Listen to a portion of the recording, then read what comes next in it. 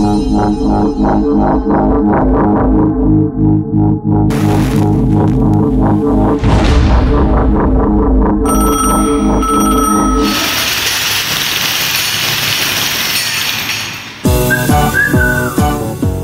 Contemporary is an art exhibition and competition which takes place every two years.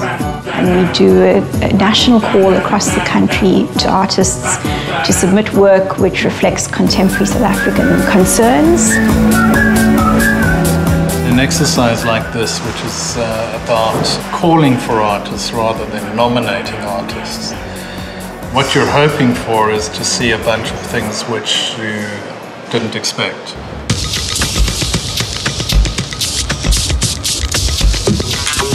One of the Africa Centre's primary objectives in attracting audiences to the Spier Contemporary 2010 is to communicate the message that art is open for all.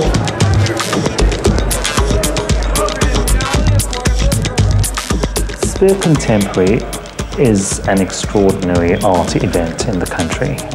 It places its finger on a pulse of the way artists are thinking about the nation right now. Race is one of those major concepts. It represents, I think, uh, because of the open call, a range of different, not just a, a range of media, but artists that come from a variety of different backgrounds and cultural influences and political leanings and ideologies and ways of looking at the world. One of the strongest features about Spier Contemporary is working with the visual arts in a, in, in, in, a very broad way, which includes a variety of new media, as I've spoken about, but also performance. I saw the first Spier Contemporary in 2007, and I was very curious to see the second edition, knowing that it will be in a completely different environment. The fact that it's in this historical building, in the city center, and how the artworks were going to resonate with this heavy colonial architecture and that what kind of dialogue was going to be uh, created. So it was another challenge for the team and it was interesting for me to witness that.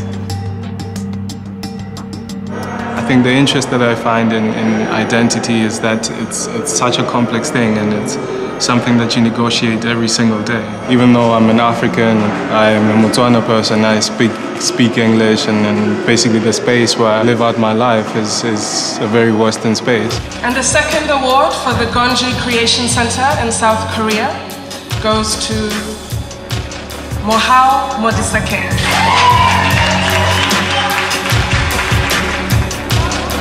The thing that I always say is that, you know, the exhibition and the competition is the gleam and the, you know, uh, and the bling of the Spier Contemporary, but the real work is really the development work that is being done on the ground.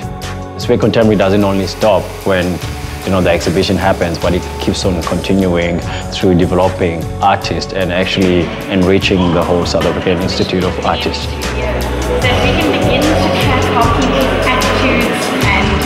I think that there are works in here that will move even the most unmovable and the most jaded of people. And for that, I think that the audiences that come here are in for quite a treat and in many respects, quite a meaningful experience.